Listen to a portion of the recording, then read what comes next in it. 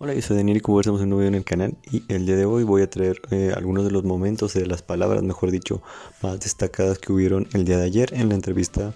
que tuvieron con Saint Lowe para Apple Music, eh, donde se mencionaron algunas cosas eh, interesantes. lo primero que se comentó es que el álbum comienza con una letra que dice puedo sentir que mi situación me abandona lentamente. Se mencionó esto para dar una pista o algo, no sé pero al menos es curioso que ya se nos revele un poco de la letra del primer tema. Eh, hablando de Good Day, que creo que fue de las cosas más destacadas, eh, Tyler dice que es producto de eh, él imaginando cómo sería perderlo todo para él, básicamente refiriéndose a Jenna y Rose,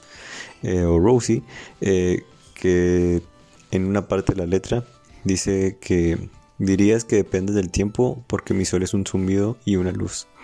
Estaré cantando. Sé que es difícil creerme, pero es un buen día.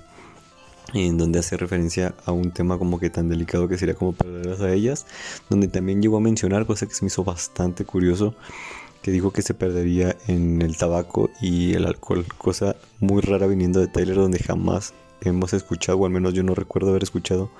que él hablar algo sobre ese tema.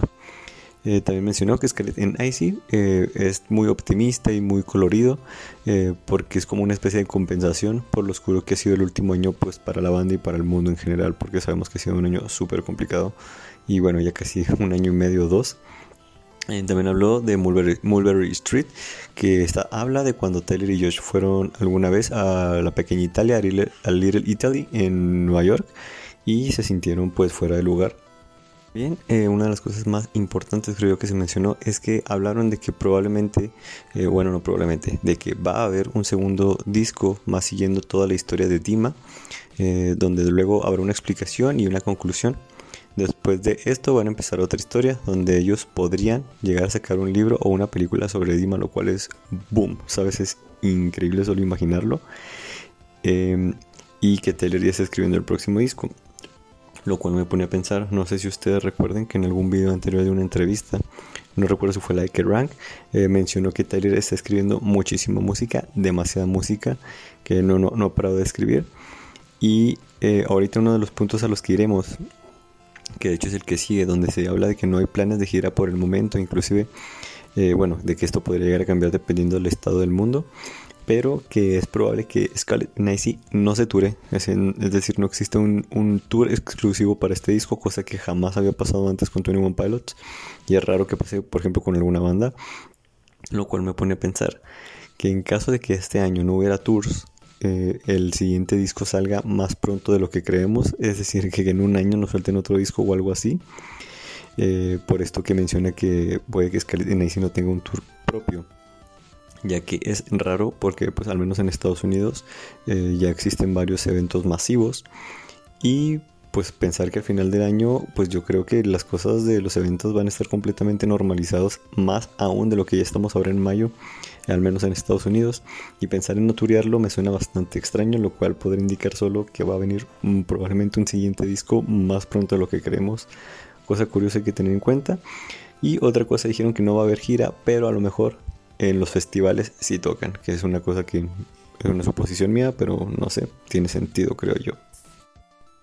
Por cierto, eh, no sé si han estado viendo, al paso del video ha estado eh, pasando una, un boomerang que subieron eh, 21 Pilots a su Instagram, eh, donde se ven pues varias como escenas de Tyler y George, principalmente Tyler en lo que están siendo pues las inmediaciones donde se va a cabo el concierto pues no sé si ya notaron y en otras fotos que han salido también eh, pues de la preparación del evento se ve y pareciera que el concierto va a estar inspirado en las diferentes eras de 21 Pilots lo cual es bastante interesante y me hace soñar con algún tema de Regional Beast siendo tocado en vivo el viernes para concluir, como eh, suele ser, Tony One Pilot es muy consciente de sus, de sus fans perdón, y soltaron comentarios muy bonitos.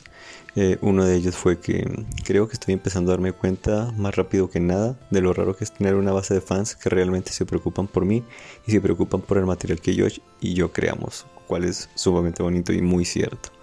Eh, otro de los comentarios fue, nuestros fans, no hay nadie en el mundo como ellos. Me importan mucho y estoy muy orgulloso de lo que han hecho por mí cosa que, pues es complicado creer que es mutua porque para muchos ha sido pues igual que ellos han hecho mucho por nosotros, así que es muy bonito y curioso que lo comenten. Y pues nada, estos son, creo yo, los comentarios más destacados que hubo en esta entrevista. Y pues nada, estamos atentos a qué más va ocurriendo y estamos a dos días de la salida de Scarlet Nacy. Y pues nada, suscríbanse si quieren tener rápido toda la información que vaya saliendo de One Pilots. Y síganme en mis redes como arroba de nuevo 14 y nos vemos hasta la próxima. Bye.